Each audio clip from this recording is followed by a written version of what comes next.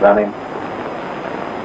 Well, after about um, 30 seconds in this uh, dark corner, I uh, pulled myself together and uh, I returned to the American lady and the Italian, and she caught hold of my arm, we caught hold of my arm, and we walked around Michelangelo's David. As I remember it, around the base and round about were legends in Italian, German, Russian, Spanish, and English. I don't read any other language other than English, so my eyes uh, lit upon one in English, which said, Michelangelo said, it's very simple. All you do is knock off what you don't want and leave on what you do. And my hair stood on end.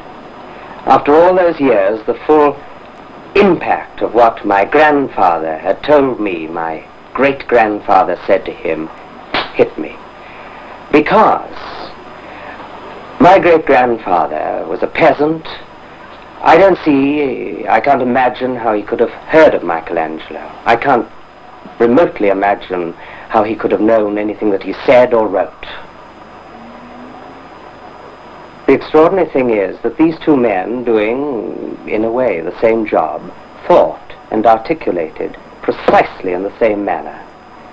And I can't think of anything, any comment about creative work that is more simple, more pure than this. Speaking as an actor, it is of more use to me, and I imagine to my colleagues if they digested it, it is more use to me and all other actors than the entire works of Stanislavski put together. It's very simple.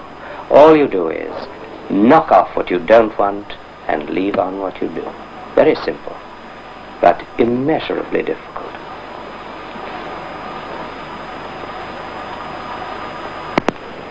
Running. I was, um, I was invalided out of the Air Force while the war was still on. While in the Air Force, like so many servicemen, I hitchhiked a great deal, though, uh, like most other things in my life, I did that to excess. Uh, for instance, once the Air Force took me to the United States of America, and I managed to acquire sufficient leave to hitchhike between 14 and 15,000 miles. Uh, but here I was now, out of the Air Force with the war still on, and I still had this inclination to hitchhike. I, uh, at that time, had a home in Stratford-on-Avon.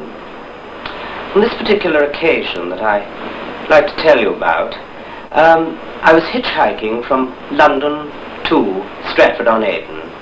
And uh, I got as far as Oxford. I got on the Oxford bypass and finally got to the road that leads to Stratford-on-Avon over the Cotswolds. But it was very late at night and uh, I wasn't getting a lift. Uh, it got to about one o'clock in the morning, which for hitchhikers is a very critical period. People uh, don't like to pick you up at one o'clock in the morning so much as one o'clock in the afternoon. And of course there aren't so many cars. I was contemplating looking for a haystack to uh, kip down in, which I very often did in the old days, and uh, never really worried about it, didn't worry too much about the rats. Um, when suddenly along came, um, I think it was a small old Austin 7, as I remember it, Compass Pacific, and in it was a gentleman who, it now strikes me, was very large, and he had a bowler hat on, I think, but this is the general impression I got.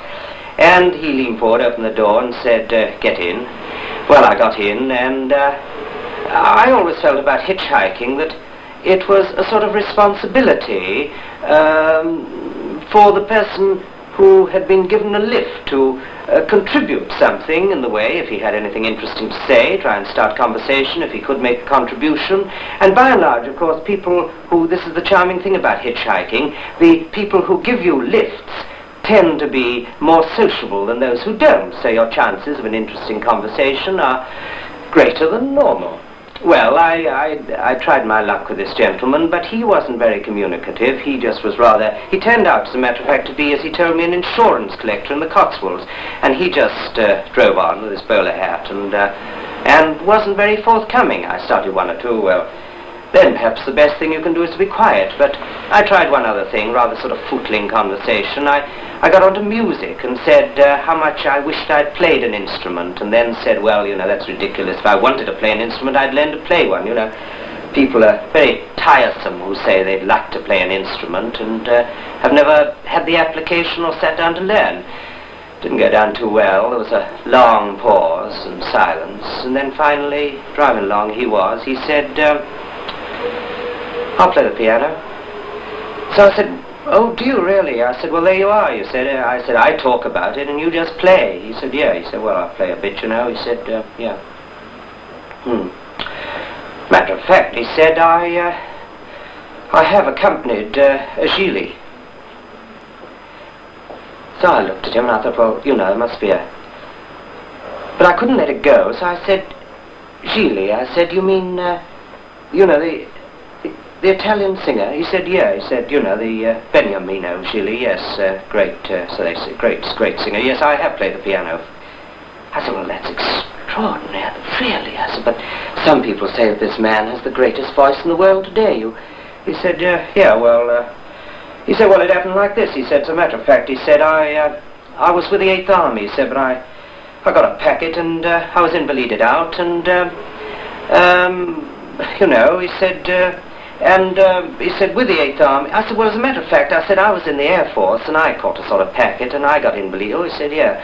So I said, he said, well, you see, he said, I was with the 8th Army and we finished in the Middle East in the desert and then uh, he said, um, we did the advance to Italy and uh, finally he said it was pretty tough going and one evening in the NAAFI or the canteen or something, he said, I was there with the lads, he said, and I was playing on the old Joanna, you know, he said, in the canteen and uh, Sergeant came in and said, uh, he said, uh, Smith. Well, I, I don't remember what his name was. He said, Smith. He said, uh, he said, look, he said, uh, he said, uh, look, he said, we want you to uh, play the piano for us. We've got a job for you. And I said, oh, yes, Sergeant. I said, what is it? And he said, uh, well, he said, look, I'll, I'll, be perfectly frank. He said, we, it so happens that we've just bypassed the home of distinguished, very great singer, Benjamin Gigli, and uh, he's very kindly consented, uh, told the CO that he'll uh, sing to the lads, and uh, the CO's told me to find someone who plays the Joanna, and you're the one who does it every night, so uh, you're on.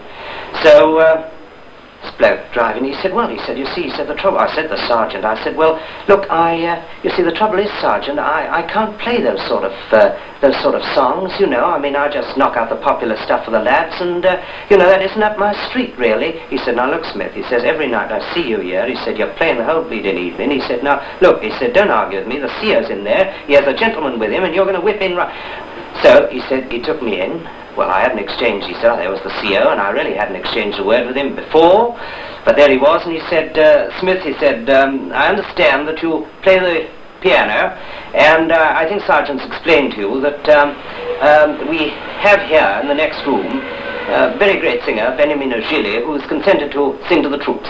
And uh, we'd like you to play the piano for him. He wants a British soldier to play the piano while he... I said, well, look, sir, I said, that, you know, the thing is that I don't, you know, you know, I don't read music. He said, now look, uh, Smith, it's a bit of an emergency, and uh, um, uh, the gentleman's here and he's going to sing tonight, and we want you to knuckle under now and, you know, pull to and do it. So, he said, no, don't argue, Smith. So, gentleman went out and brought in, so this gentleman said, Beniamino Gigli. And he said the Italian gentleman came in and uh, and uh, he said, uh, I said, uh, you will play the piano for me. And I said, uh, well, look, the thing is, the trouble is, you see, the CO and the sergeant don't seem to understand, but uh, um, I don't read music, you see. I just vamp it off, you know, I play by ear, and, and you know, they don't seem to understand this. So, um, the Italian gentleman, he said, he said, Gigli, he said, uh, right, he said, now don't you worry. He said, I will solve this. He said, tell me, uh, Mr. Smith. He said, do you know the song Come Back to Sorrento? And well, I knew the tune, so uh, I had to admit. I said, yes. I said, yes. He said, ah, good, good. He said, do you know, and named some, uh, you know, Neapolitan airs, popular ones, and I knew them, like Come Back to Sorrento, and I said, yeah. He said, good. He said, Mr. Smith, he said, now. He said, you, he said, you play. Come back to Sorrento on the piano, and I will follow you. So, he said, I did it. He said, I sat there in front of two or three thousand of the lads and uh, driving through the Cotswolds, you know. And uh, he said, I played it in front of two or three thousand of the lads. I just played it as I know. And uh, Beniamino Gigli Come Back to Sorrento and the other tunes I knew. We followed and there was nothing went wrong and two or three thousand of the lads, you know, were very pleased about it. Well, at that moment, he said, well, uh, I'm turning off the left here, you know, I've got to go down into the Cotswolds. And uh, he said, I said, well, thank you very much indeed. And I got out, and I spent the night in a hayrick, but it was well worth it. Well worth it.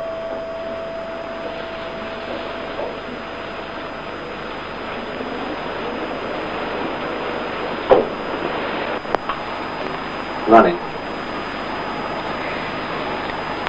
When I was a little boy, I was about seven years old. I know I was about seven years old because of the house that I was living in, which I left when I was eight, and it certainly wasn't just before we left. I lived in this house with my uh, grandfather and grandmother, who were, to all intents and purposes, my mother and father. They brought me up. This story started in my grandfather's vegetable garden in Tenby in Pembrokeshire. And there I was on a summer's evening with my grandfather, just the two of us. He'd finished work in his vegetable garden, and I was with him. He'd sat down on a mound of earth, and I was looking at the garden. It's important that you know that I was only seven years old because of the sort of conversation that we had. Extraordinary conversation, really, for a little boy and, uh, and a grandfather to have. Well, I looked at this garden, which was pretty, perfect. And I wonder why it was such a good garden because of this sandy soil in Tenby. It's like sand, but things grew in it beautifully, marvelously. And I looked at this remarkable garden. It was so perfect, so neat. And I turned to my grandfather and I said, I called him Grampy. And I said, Grampy, I said, your garden's very pretty. It's very perfect. It's very neat, whatever words I used when I was seven, but those are the sentiments. And he said, I'm very glad you think so, Ken. He said, and it reminds me of a time a long while ago when I said very nearly the same thing to my father, your great-grandfather. He said, because his garden, if you think that mine is pretty and perfect, you should have seen his. His was perfect. Immaculate is the word I would use now. That is the intention that he wished to uh, communicate to me. He said, but as you know, and as I've told you, he had a terrible temper. So much so that I was very frightened of my father. I, ever, I hardly ever dared speak to him. He said, even when I was a young man, he told me, and I was just a little boy, he said, even when I was a young married man, I still kept my garden as neat as this, as perfect as this, but even when I was a young married man, I was afraid for my father, your great-grandfather, to see it because he'd find it so unsatisfactory, or whatever the words my grandfather would have used to me, that he would lose his temper with me, and I was frightened of him, even when I was a young married man. He said, but when I was your age, and we lived at the square, now the square is the little cottage where my grandfather was born and my great-grandfather lived. And it was called the Square because before they lived there, it was a little village pub, or it wasn't even a village, it was in the depth of the country, but it was a pub called the Square. And uh, they kept on the name when they lived there, and it still stands to this day. About 18 months ago, I went back, and though it was empty, I had a look in it, and it's still known as the Square. He said, one evening, one summer's evening at the square, I was standing in my father's garden. And he had finished work in it, as I finished work here, but he, as was his custom, he had gone up past the square when he'd finished work, up into the meadow above the cottage, and at the top of the meadow he had a large slab of hard stone. He was incidentally a stonemason, as my grandfather was a stonemason, and as sometimes I think I should have been a stonemason. I come from a long line of stonemasons, with one eccentric uh, deviation, which is another story, a very interesting story, but I won't start now. So, there he was, at the top of the meadow, with his hammer and chisel, sitting in front of this hard piece of stone. I looked, my grandfather said, at this perfect garden, and I thought what you have just thought about my garden, how wonderful it was. He said, but this really was wonderful. He said, it seemed that every grain of earth had to be perfect, perfect. Every vegetable had to be in a strict line. The vegetables were a perfect shape. Everything was perfect and beautiful. But, having thought that, I looked up at my father in the meadow, and I thought that I would like to get as close to him as I dared, and he was talking about his father, and look at what he is doing. So, I uh, walked past the cottage, past the square, and I got to the top of the meadow. I didn't get very close, but I stood and I watched him. And he was, as was his custom, cutting with his hammer and chisel out of hard stone a flower. He carved flowers out of hard stone of a summer's evening when he'd finished work. And I stood and watched him for a long time. He didn't say anything to me, so I stayed. And since he didn't say anything to me, my grandfather said, I at last found the courage to speak to my father. And I said, something that I'd wanted to say for a long time. I said, Father, that must be very difficult to carve a flower out of hard stone. He said, my father didn't say anything. He didn't look at me. But after a moment, he put down his hammer and he put down his chisel and then looked at me and said, No, Annie, it's very simple. All you do is knock off what you don't want and leave on what you do. Picked up his hammer, picked up his chisel, and continued. Now that story has stayed with me for, what's it, 25 years, I'm not sure of figures, but a long time. I remember the story. It was an important story to me, but its full impact didn't hit me till about five years ago, something like that, five years ago, when I went off to Italy on a sort of romantic adventure with a delightful and splendid young American lady. Finally, we ended up at Florence, in Florence, and what we both wanted to see most of all was what is said to be Michelangelo's greatest work, David. David, the great stone figure of David, which lives in Florence. And so, we went to the museum, the art gallery, where Michelangelo's David lives, is kept. And we had with us an Italian acquaintance who spoke English, and the young American lady held onto my arm, and we walked down a sort of avenue of Michelangelo figures, as I remember it. Famous figures that he'd been commissioned to carve for the Vatican. Uh, they're strange figures, wonderful figures. They, some say they're not completed. Perhaps Michelangelo didn't intend them to be completed because they're just great blocks, blocks of stone and unfinished, and out of them seem to be struggling human figures, as if they're trying to, living figures, trying to escape from the living stone, as it were. Terrifying, wonderful figures. But, right at the end, as I see it, as my memory serves me, there at the end was this fantastic creation, Michelangelo's David. Wonderful.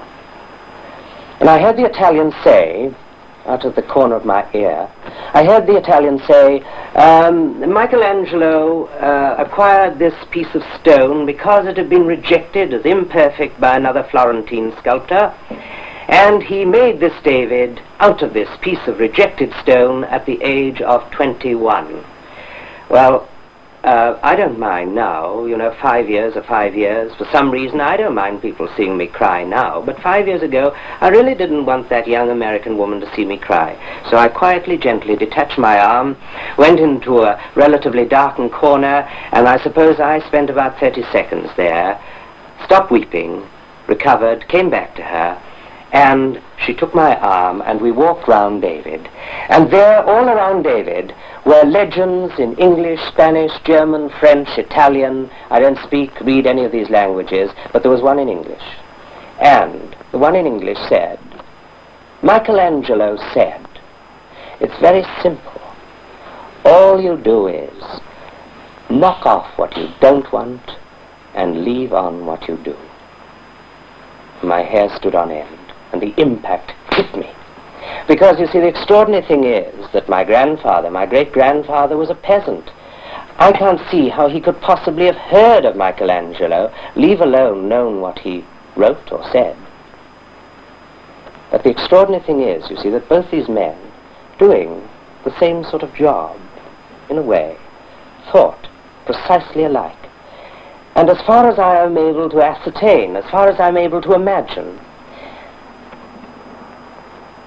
There is no statement about creative work. More perfect